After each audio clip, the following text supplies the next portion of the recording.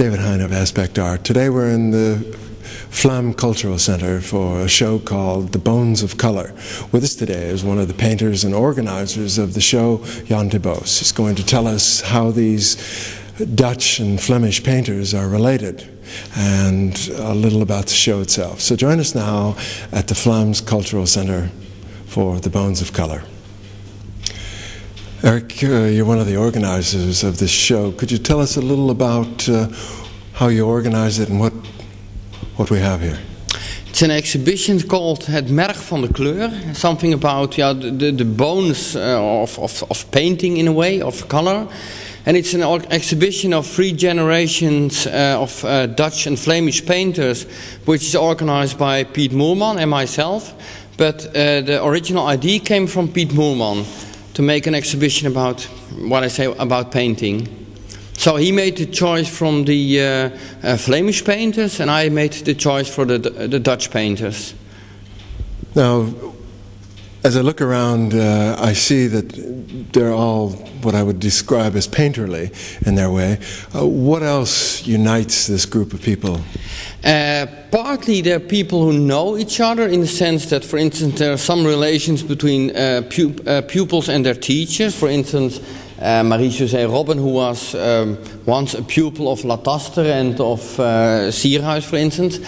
Uh, other relations are, of course, friendships. I mean, for instance, Piet Moerman, Rik Vermeersch and I, we know each other from 84. Uh, God, I know Erik Oldenhof since uh, the beginning of the 80s. Uh, he became to know also the, some of the Belgian painters. There's a, a relation between uh, Raveel and uh, Piet Moerman. So in that sense, also uh, that kind of relations. Now, I notice there's a, a, lot of color here and a lot of paint on these canvases. Uh, what would you describe uh, the type of art as? Now, it, it, it, it's, it's, it's about painting. I see it as a, as a kind of painterly poem, this whole exhibition. But uh, if you have to put a label on it, then it's a bit maybe in the direction of, of the neo-expressionistic movement. Although, for instance, the works of Bart van de Vijver, they're more yeah, kind of fundamental painting. But uh, I think if you can say one thing about this exhibition, uh, despite uh, the, uh, how diverse the paintings or the painters, the artists are, that uh, it shows some kind of love for painting at itself. That so, in a way, you can say this exhibition as a kind of subtitle. Uh, you, you should could call it "In Defense of Painting." Well, speaking of defensive painting. We've moved into the new millennium, and uh, how would you describe the state of painting here as we begin the 21st century?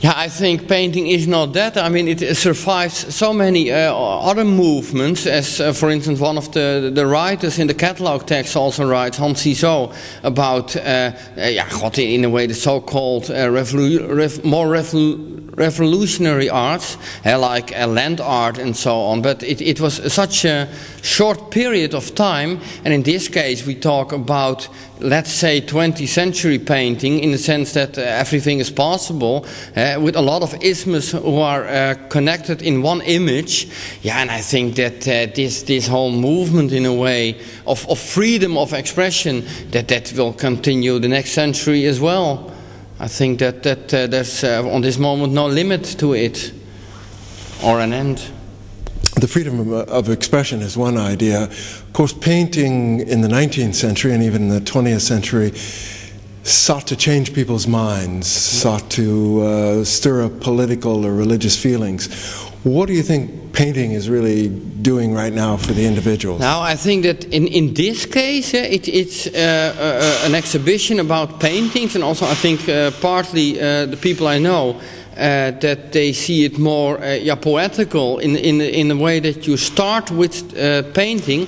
I mean, as an organizer, I can tell you that in comparison with other exhibitions about painting, then I've got the impression that there was first a very large intellectual uh, scheme, and then the artists and the paintings had to be sought out to illustrate that. And in this case, it's totally the other way around. That the exhibition is organized with a starting point uh, some paintings which we admire very much. Now, most of these uh, painters are, in one way or another, established painters. Would you uh, would you agree with that? Not all, because there are also some, some very, uh, uh, yeah, God, I mean, for instance, uh, the Brabander here in the Netherlands, he's totally unknown. I mean, almost unknown. So in, in that case, we have some very uh, famous painters here, like what, uh, Lataster, uh, Raveel, for instance. But uh, yeah, what I say, uh, there are also much uh, less known painters here. As neo-expressionists or some such uh, title that we might give them, what exactly does that mean? Yeah, I think uh, neo-expressionism is, is, is a term of the art historians, uh, or more the art critics, uh, art uh, dealers from the beginning of the 80s, uh, the, the new wild ones. Uh, uh, but on the other hand, the paintings from Evert Lundquist, a Swedish painter, they were called in the 50s already neo-expressionist. So it, it, it, it's a phrase which doesn't mean anything, I, I, I would say. This is more timeless, I think, this whole exhibition. It's not dated in the sense that. Uh, Much of painting today uh, is about a commercial aspect. Is that painter selling? Is he being uh, showed at the Stedelijk, let's say, for example, or one of the big museums? Is that a, a definition of painting uh, by the public? Does the public dictate still through its financial support of a certain painter what painting is? Or is it the painters painting for themselves or each other? now, I think this is an exhibition for painters themselves and for each other. And what the public thinks about it, uh, God, we will see. I mean, uh, people come here, but. Uh, uh, I mean, everybody has his individual career, of course, and yeah, God, for mostly most of the painters who hang here, they are in, in their own circle, but because we talk about circles, of course, yeah, very well established, and uh, some more, some less, but uh, uh, yeah, this is a, a, a painterly exhibition in a way, not so much regarding to look at uh, uh, what the public, because I think that the public in this. Yeah, this beginning of the new century, uh, God, but uh, is, is more, maybe more interested yeah, in video art and things like that, you know. This, yeah, you can call it a very old-fashioned exhibition in a way, but um, yeah, it's a choice. It's hard to hang a video on your wall at home. Uh, and s- some people think that some of the art today is hard to hang on your wall. Uh, what is a painter today seeking when he's uh, in creating these things? I think that a painter is, uh, yeah, I mean, I, it's not only painting. I think that every artist is, is living a life in a way like a Robinson Crusoe way, that you have to find your own way in things you make. Uh, it's, it's kind of a lifestyle where you choose from, and then you have, of course, very different. Uh, styles to express yourself, whether it's literature or film or, or theater or whatever. But uh, yeah, if you talk about painting, uh, this is, although there are paintings which are very figurative in this show, that uh, I still think that it's, it's a kind of base. In basically, it, it's it's a kind of. Yeah, matter uh, paintings, uh, a kind of an exhibition about. Yeah, that's also what the title is saying, and the bone of the color. That it's it's going back to a kind of fundamental painting in a way. Although people are so, some of those artists here are um, taking figurative images to express things. But in the beginning, in the, in the sense, totally at the basis, I think it's concerning the paint itself and then uh, the possibilities, what you can do with it. And I think that if, yeah, this is, that's very clear in this show also, to show the, the possibilities of paint, what you can do with it.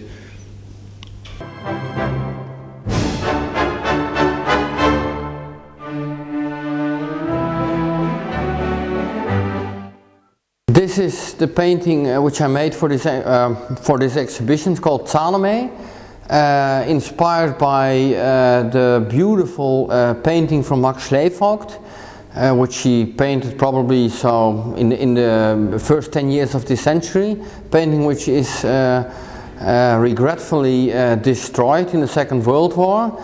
But um, this is one yeah, of a series of Salome paintings made also versions of uh, uh, the theme by Titian, Fabricius, uh, Fauré.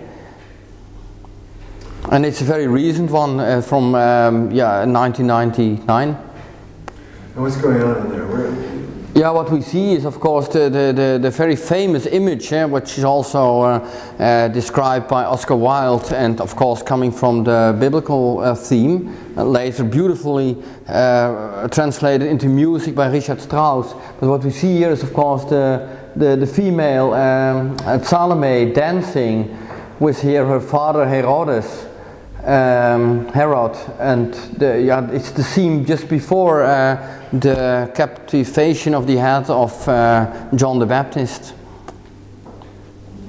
In the way, the, the scene that she seduces the father to uh, let him uh, behead uh, John the Baptist. And uh, this is a very colorful painting, eh, although the original from uh, Slevogt, much more uh, tonal, is with only uh, uh, earth colors and a little bit of red and a little bit of black, uh, blue.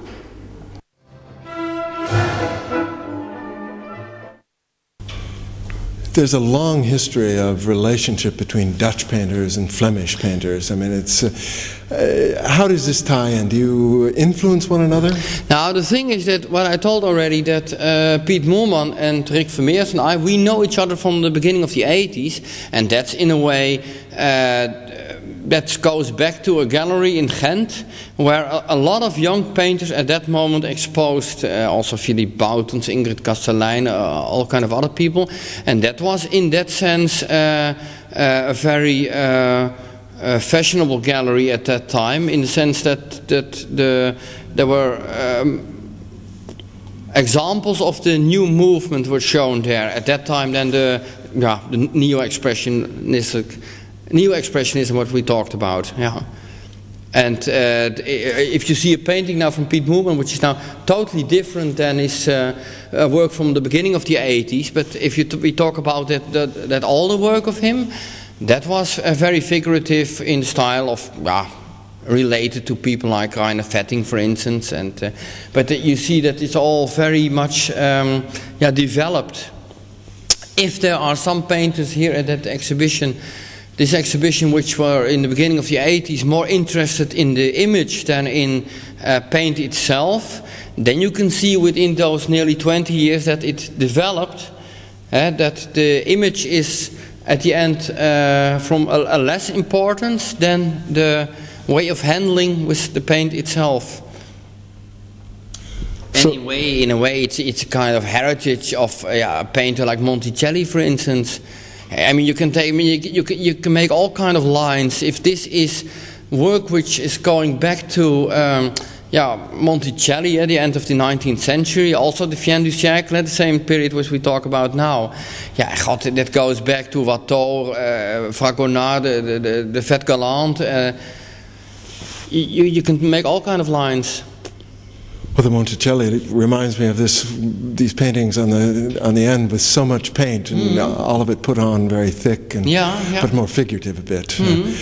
Uh, how long will this show uh, be here, and where will it go from now, here? It, it's in Amsterdam here in the Brakke Grond. It goes till the 13th of February. And then it will uh, uh, travel to Bergen, het kunstenaarscentrum. And uh, that will be... Uh, th- there will be a bigger show. This is the first show in, in, in uh, a series of four. And each show will, be, will enlarge um, the number of paintings because uh, here we chose uh, for, from everybody one or maybe two or three paintings. In Bergen it will be a two location. Starting point uh, will be the Kunstenaarscentrum, but uh, there will be from everybody three or four paintings everywhere. Uh, I mean, at the, second location, and afterwards it will go to Roermond, Stedelijk Museum. That will be next year. No, this year. Uh, I think April to June. And then it will end up in the Museum for Deinze en Leiestreek in Belgium, nearby Ghent. And that will be an exhibition with, from some painters, maybe even 10 paintings there. So it will be uh, larger and larger and larger. It, uh, it will grow uh, traveling through the Netherlands and Belgium. Eric, thank you very much for being with us today. Thank you.